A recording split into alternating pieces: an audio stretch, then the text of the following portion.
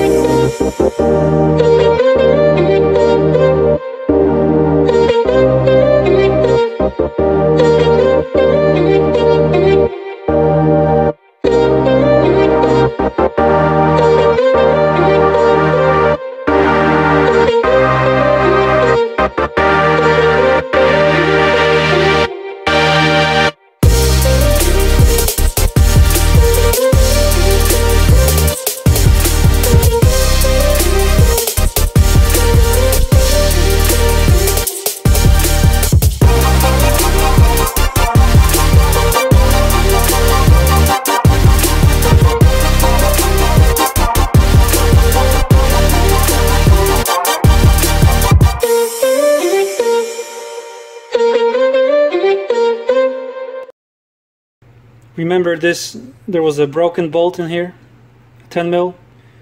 Started drilling it drilling it out. The drill bit broke. It, it was just gave me a headache. So decided to heat it up and I grabbed the bolt. It was in pieces by then. Grabbed it with pliers while it was hot and kind of removed it. And I well I destroyed the ear so I had to fix that that's why you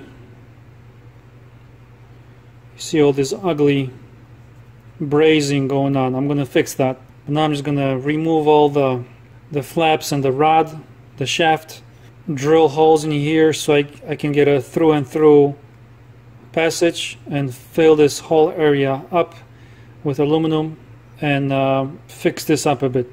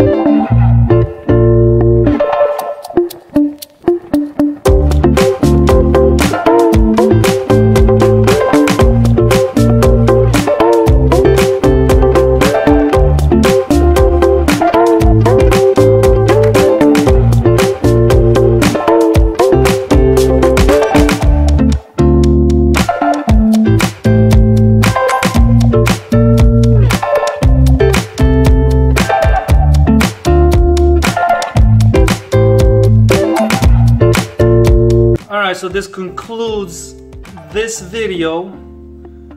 Oh, I decided instead of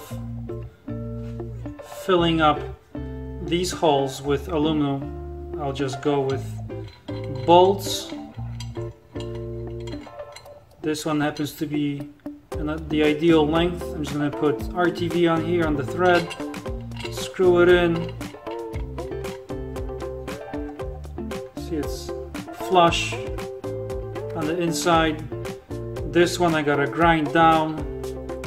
So bolts on both sides. These are filled in. This took a long time, by the way. Um, I actually redid one of these off camera because the very first one I did was just the one and when I went to do the other this one melted when you do this when you do this aluminum brazing welding kind of stuff you want to heat up the body. Whatever you're welding don't heat up the actual aluminum rod. You gotta heat up the part that it's going in. If it's filling in or, or making a new kind of uh, uh, a new body or new part this was this took a long time. Um, I guess three times or so I had to build up the aluminum on here grind it down. Pieces kind of fell off so I had to redo it again and kind of build up build up. Ended up uh, putting a, um, piece of metal on one side so it doesn't it would just collapse. It was just too big of a, a part piece for the aluminum to hold up. Once it got hot it just just went flat. Yeah but it worked out.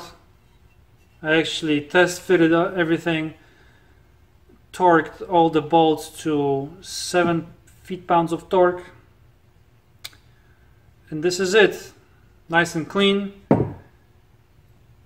Now what's left is kind of refresh these fuel lines remove the rust here and there they're in good shape overall still don't have the block back from the shop it's been it's been two weeks three weeks maybe they did wait on the pistons there was some trouble because I told them for them to order the pistons uh, so I gotta drive there back and forth. It's not close. The shop is not close by. Anyways, not sure what's next. Check this out. Freshly painted oil pan. Nice and clean. High temperature paint. Silver is what I had. That's why it's silver. Original was black. Alright guys, thanks for watching and I'll see you soon.